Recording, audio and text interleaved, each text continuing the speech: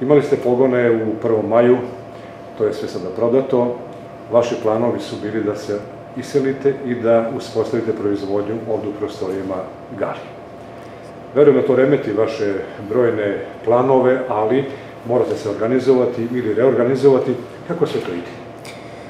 Pa ide, ide solidno, ide dobro. Zadovoljan sam u smislu da se to nekako realizuje kako smo i planirali. Tačno je da remeti, kao što ste rekli, to uopšte nije, tajna nije ni mala stvar, ovaj, nije ni lako preseliti tu količinu posla i radnike i deo opreme.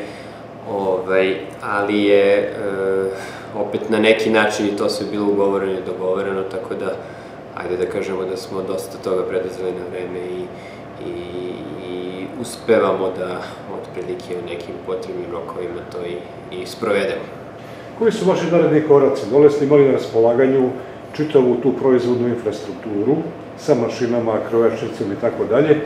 Da li je neophodno da se deo, ako imate svojih mašina, preseli ovde normalno, ali da li je neophodno da se kupe i nove mašine? Jeste, neophodno je i stvarno činjenica da je infrastruktura u prvom maju Ahamuri, to je danas Mirolju, ovaj, zaista veća, bolja, kvalitetnija, ali je ovaj, ova koju imamo ovde sad u Gali sasvim dovoljna da, da realizujemo te poslove koje smo počeli da radimo i da ih u budući isto tako jednako dobro sprovodimo.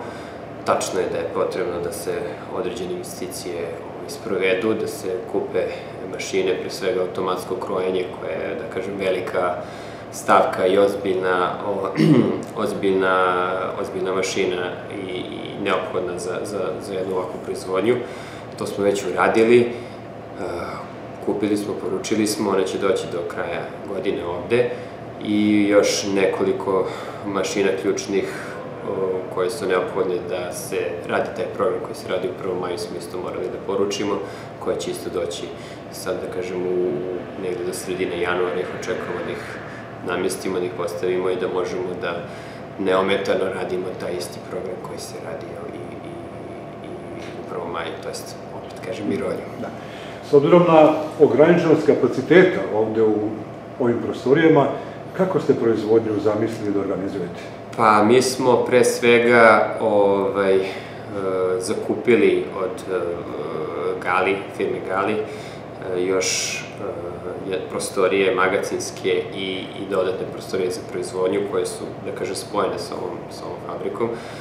Tako da smo povećali, povećali smo prostor, ali i dalje je to nedovoljno da bi se radilo sve u jednoj smeni, tako da je ovaj, definitivno naša namera da se ovaj proizvodnja odvija u dve smene, jer to je jedini način da se ta količina posla i taj broj radnika organizuje, organizuje za, za rad. Pored ovih tehničkih, da kažem, uslovno problema koje imate, koje naravno svojim planovima rešavate, kada je reč o kadrovima, kakva je to situacija? Koliko radnika planirate da angažujete maksimum? Mi planiramo da angažujemo oko 120 radnika.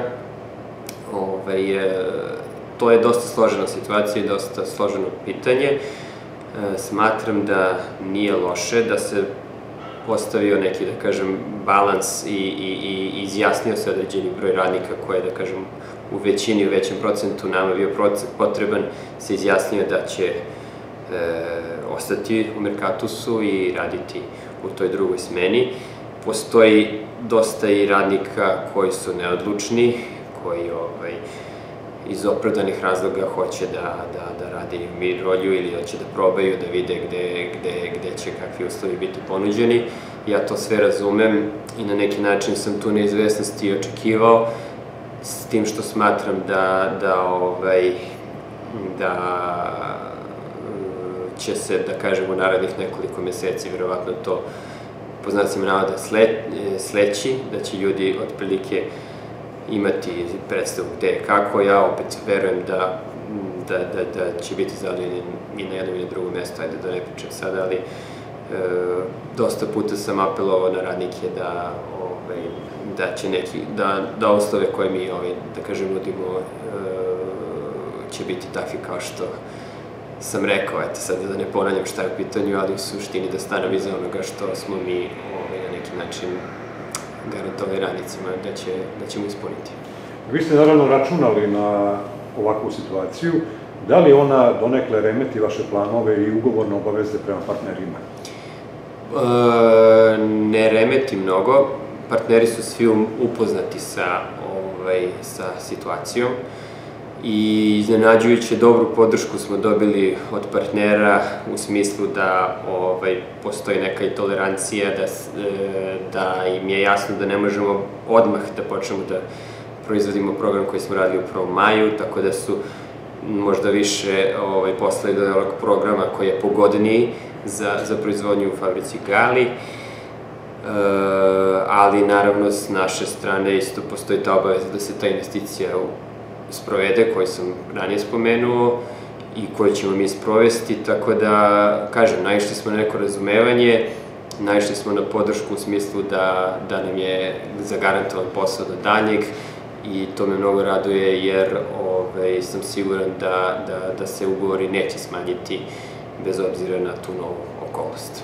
Da li možemo da kažemo i kroz brojke kolika bi bila vrednost investicije koju planirate i koliko se proizvodi ovde koliko to omogućavaju raspoloživi kapaciteti proizvodnju u kompaniji ovde sad radite?